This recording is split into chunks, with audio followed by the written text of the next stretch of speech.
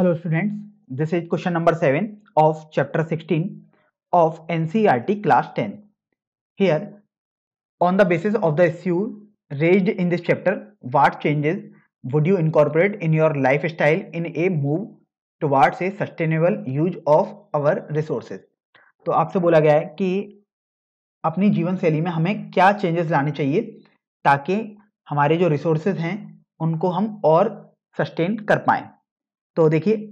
First point लिख लेते हैं will move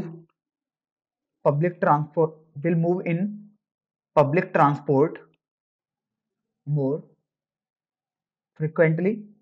मतलब हम पब्लिक ट्रांसपोर्ट का ज़्यादा से ज़्यादा प्रयोग करेंगे second one is instead of coal और natural gas use solar energy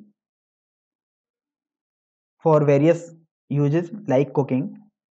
Third one is take care not to pollute environment with waste. Fourth one is use effective electrical appliances.